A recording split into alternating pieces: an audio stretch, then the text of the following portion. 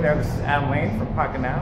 I'm going to find out what kind of mobile technology is going on at Comic Con in New York. Let's check it out. First off, Thursday night, FinCon threw a party celebrating the launch of their new free to play mobile role playing game called Hello Hero. This will soon be available on iOS, Android, and Facebook with cross platform multiplayer capabilities, hundreds of hero characters, multiple gameplay modes, great 3D graphics, and even community boss battles. On the show floor, we found plenty of fun mobile tablet stuff as well. At the Wacom booth, I really wanted to try out the new Bluetooth pen that they made for iPads. It gathers its own pressure sensitivity data uh, within the pen and then communicates that to certain drawing apps via Bluetooth. It's a huge departure from Wacom's normal electromagnetic digitizer built into the screen of their high end Cintiq products Really, it's kind of a hack built for the iPad, and unfortunately, it didn't even work at Comic Con. On the other hand, behind that, Wacom was also showing their new Cintiq Companion Windows 8 tablet, which worked beautifully. The Cintiq Companion they had there was running a Core i7 processor with Windows 8 and the full Adobe Creative Cloud software suite. It also had 8 gigs of RAM for all those high end programs. This tablet is similar to the Surface Pro in that it has pressure sensitive electromagnetic digitizer from Wacom built in the screen. But Wacom's version is much more accurate, supports twice as many pressure levels, and even supports stylus tilt sensitivity. Stylus tilt input is important for applications like Corel Painter, which can simulate natural media such as directional airbrushes.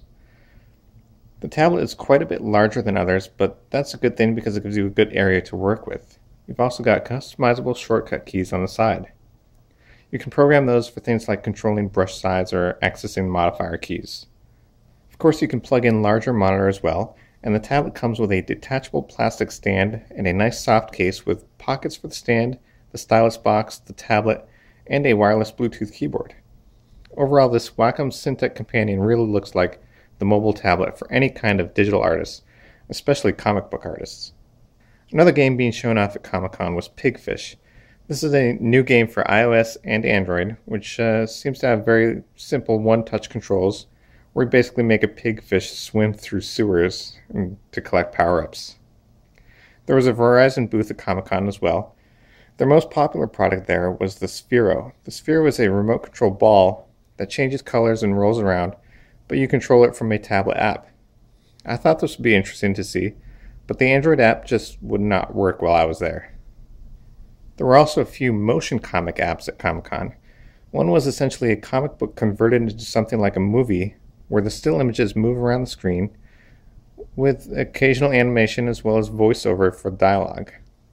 Another called Comixology doesn't have the audio but works with a wider range of comic books.